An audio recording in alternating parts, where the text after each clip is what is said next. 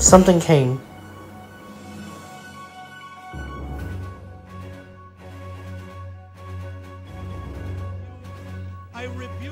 Pastor Douglas became Pakistan.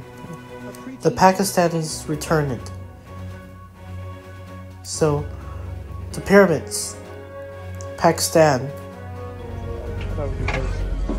Douglas was there shooting at cannon.